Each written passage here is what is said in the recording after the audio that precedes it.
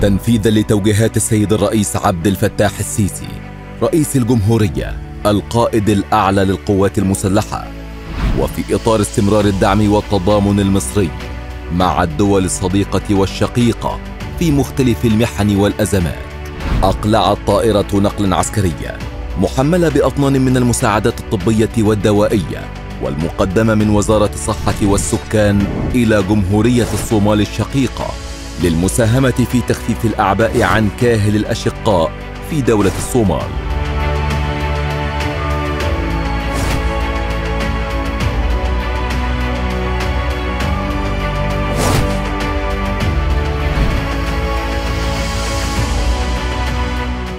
ومن جانبهم أعرب الجانب الصومالي عن عميق الشكر والتقدير للجهود المبذولة من قبل جمهورية مصر العربية.